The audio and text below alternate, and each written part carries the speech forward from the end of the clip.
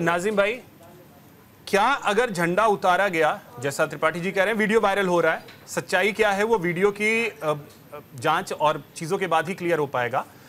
क्या अगर कोई झंडा उतार रहा है तो उसकी जान ले लेंगे मस्जिद में खींच करके ले ले जाएँगे और जान ले लेंगे? हाँ अभिषेक भाई देखिए सबसे पहले तो मैं ये कहना चाहूँगा कि शांति बनाए रहेगी और देखिए ये भारत हम सभी का। इसकी सौहार्द बिगाड़ने की कोई भी कोशिश ना करे और रही बात ये कि जिस तरीके से अभी कहा कि भी देखिए वहाँ मस्जिद के पास में गए वहाँ पर झंडा उतार के भगवा झंडा लहराया गया यही तो मानसिकता है यही तो मानसिक रोगियों की पहचान है कि आपने वहाँ पर एक समुदाय का झंडा हटाकर अपना झंडा वहाँ पर लगाया अरे अगर आपको झंडा ही लगाना तो मेरे दिल की अपनी शान तिरंगा लगाते तो हाजी नाजिम को तो झंडा लगा दिया, गोली मार सुन लीजिए।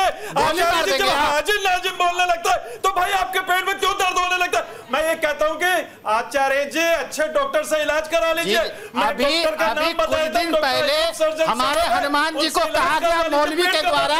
कि वो नमाज़ पढ़ते थे। क्या उनका गला काट दिया किसी हिंदू ने? माना चाहिए।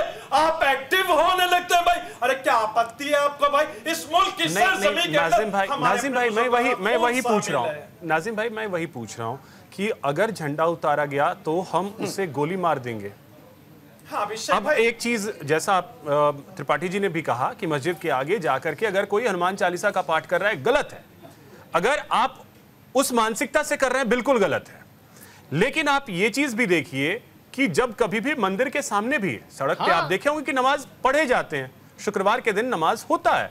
मुहर्रम की जुलूस निकलती है। मुहर्रम का जुलूस निकलता है कहीं कोई ये नहीं बड़े आराम से निकलता है। हाँ, लेकिन रामनवमी का जुलूस हो बजरंग बली को के जन्मदिवस पे कोई जुलूस हो करौली की घटना आपको याद होगी दिल्ली की घटना आपको याद होगी ऐसा क्यों हो जाता है?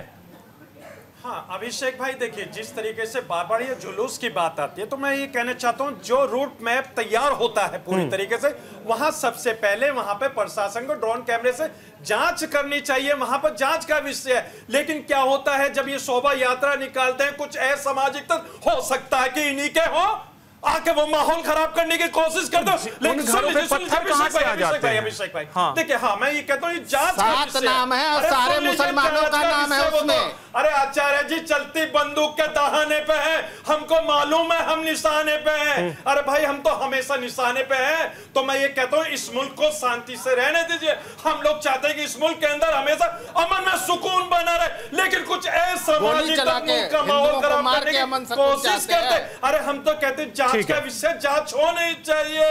और उसमें दूध का दूध पानी का पानी हो जाएगा कि कौन दोषी है कौन नहीं। योगी सरकार बड़ी स्ट्रॉन्ग है। है। अपना ढूंढ के निकाल लेगी कौन। है लेकिन उससे पहले मैं ये कहना चाहता हूँ कि आखिर हम ही लोग क्यों निशाने पर रहते? हम तो मुल्क के अंदर मोहब्बत बांटने के लिए आते हैं भाई। हम लोगों को आप निशाने पर खड़ा कर देते हैं। भाई, हाँ तो जलियांवाला बाग के गोलियों के निशानी क्यों दिखाते ये कैसी मोहब्बत लोगों के सामने मस्जिद में ले जाकर गोली मार दी जाए। गोली ठोक दी ठीक है ठीक है अब